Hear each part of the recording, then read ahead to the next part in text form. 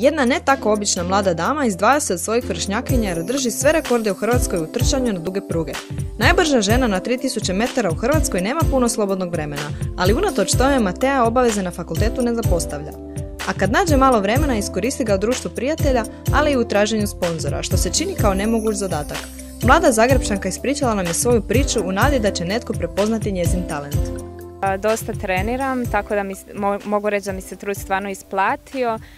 Teško je gurati faks, pogotovo ako se radi o redovnom faksu. Ja sam na kineziološkom fakultetu i vrhunski sport, ali evo nekako uspijevam. E, zadnji rekord koji se ostvarila bio je na 3000 metara, ja mislim.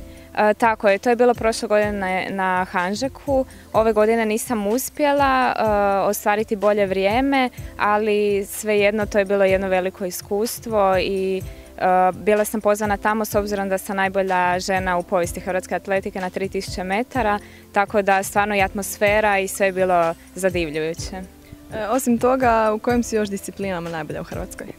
Na 5 km na stazi, 3000 metara isto, u krosu na 10, na 10 km na stazi, na 10 km na cesti i to je to.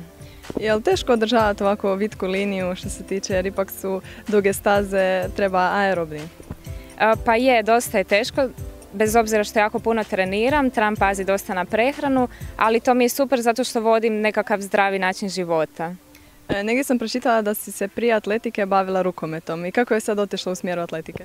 E, tako je. E, ja sam u osmom razredu trčala za školu, jedna trenerica me uočila, uvidjela je da imam velike potencijale i jedno vrijeme sam se bavila jednim i drugim sportom, no s obzirom da je to dosta različito, morala sam se odlučiti za jedan sport, koljena su me počela boliti i tako sam se odlučila za atletiku i to se pokazalo kao jako dobar odabir.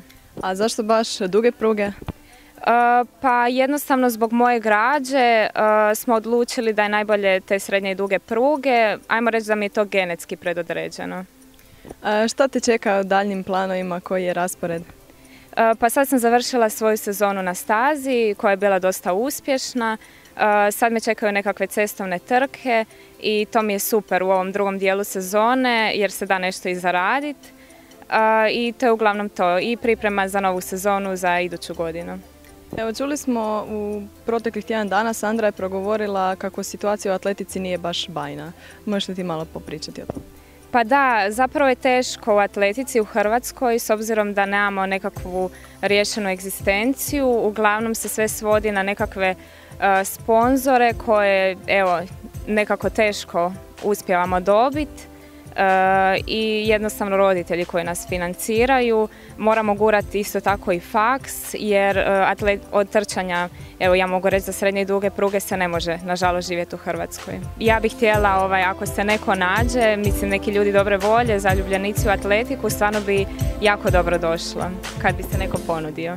Hvala ti. Hvala vama.